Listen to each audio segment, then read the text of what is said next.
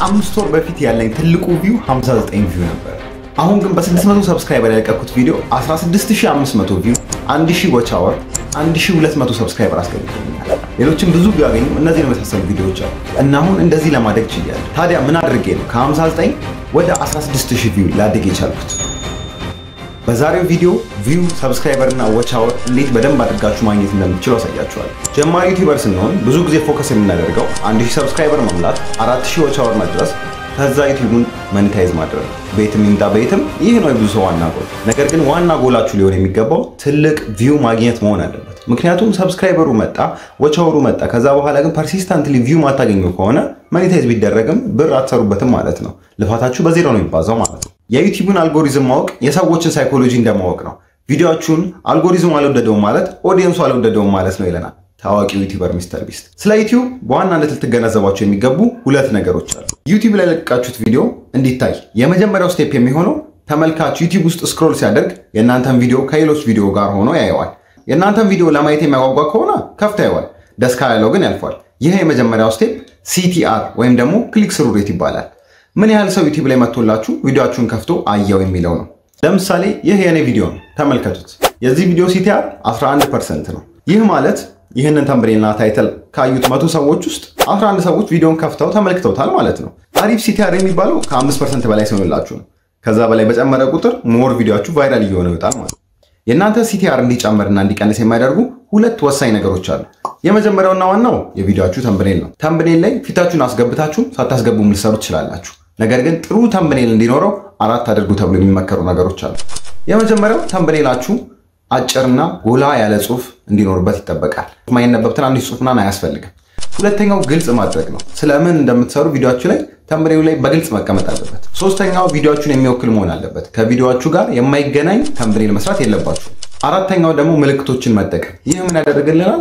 በአጭሩ ሰዎች ምልክቶችን አይተው ስለዛ ነገር እንዲረዱ፣ ስለዛ ነገር ተገንዝበው አሃ ይህ ቪዲዮ ለካ ስለዛ ነው ብለው እንዲያውቁ ያደርጋቸዋል ማለት ነው። ሁለተኛው CTR ኣችን እንዲጨምር የሚያደርግልን ነገር ደግሞ ምንድን ነው? አሪፍ title ወይም ደግሞ አሪፍ የቪዲዮ ርዕስ መጠቀም ነው። title ወይም ቪዲዮ ርዕስ ስትመርጡ እንግዲህ እዚህ ጋር እንድታደርጉ የሚመከሩ አራት ነገሮች አሉ።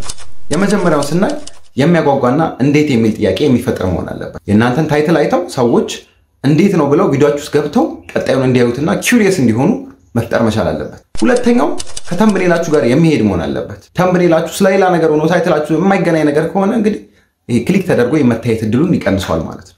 ሶስተኛው searchable መሆን አለበት። ሰዎች ስለዛ ነገር search አድርገው ገብተው የሚመለከቱት ርዕስ መሆን አለበት። አራተኛው capital letter አጠቃቀም ነው። በደንብ እንዲታይ የምትፈልጉትን እና emphasis የምትሰጡበትን word capital letter ማድረግ አለባችሁ። አሪፍ title እና thumbnail ሲኖራችሁ CTR ኣችሁ ይጨምራል። ትልቅ CTR ባላችሁ ቁጥር ደግሞ የምታገኙት view በዛው ልክ ይጨምራል ማለት ነው። ቆይ ግን ወሳኙ ነገር አሪፍ CTR ማግኘት ብቻ አይደለም። እስካሁን የነገርኳችሁ ግማሹ ነው።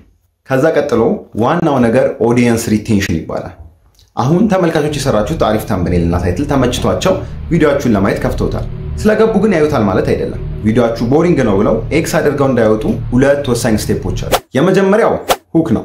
ይህ ማለት ተመልካቾቻችሁ አጓጉታችሁ የምታስቀምጡበት ወይም ደግሞ የምታጠምዱበት የቪዲዮችሁ part ቪዲዮችሁ 10 ሺህ view እና 100 ሺህ view እንዲኖረው የሚወስነው በዋናነት ቪዲዮችሁ መጀመሪያ ላይ የምትሰሩት የአምስት እና የ30 ሰከንድ ቪዲዮ part። በተለይ የቪዲዮችሁ የመጀመሪያው አምስት ሰከንድ ሰዎች አይተው ኤጭ ብለው ዘግተውት እንዲያወጡ የሚያደርግ መሆን አለ። የቪዲዮችሁ የመጀመሪያ አምስት ሰከንድ ላይ ማውራት ወይም ማሳየት ያለባችሁ ነገር ምንድን ነው?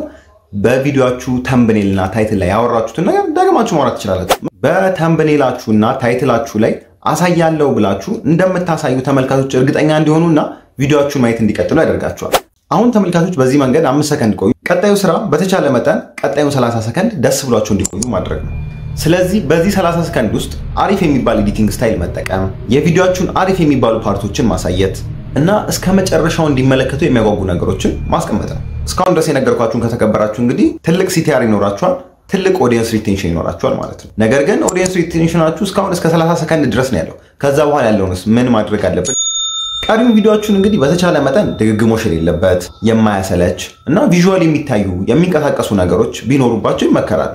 ምክንያቱም ቁጭ ብላችሁ ከምታዩ ይልቅ የሚገቡ ምስሎች ቢኖሩ፣ የቪዲዮ part ኦች ቢኖሩ፣ ክሊፖች ምናምን ብታስገቡ እንግዲህ የሚንቀሳቀስ ነገር ካለ ሰው አይሰለቸውም። ቪዲዮችሁን እስከ መጨረሻው ድረስ የማየት probability ይጨምራል። አሁን በዚህ መንገድ ብዙ view ያገኛል፣ ብዙ subscriber ያገኛል። ዎች ግን እንዴት ቶሎ እንሙላው? እሱ ሌላ ጥያቄ ነው። አብሮ watch hour ኣችሁን ቶሎ እንዲሞላላችሁ የምትፈልጉ ከሆነ የአምስት ደቂቃ ቪዲዮ ከመስራት 10 ደቂቃ 20 ደቂቃ ብትሰሩ ይመረጣል። watch hour ኣችሁም ቶሎ ይሞላላችኋል። ዩቲዩብም ረጅም ቪዲዮ ስትሰሩ እንግዲህ የእናንተን ቪዲዮ favor ያለ ዩቲዩብ ላይ ቪዋችሁን ወቻወራችሁንና ሰብስክራይበራችሁን ለመጨመር basic የሚባሉት ትልቅ CTR ማምጣትና ትልቅ audience retention በተቻለ መጠን ለማምጣት መሞከር ነው።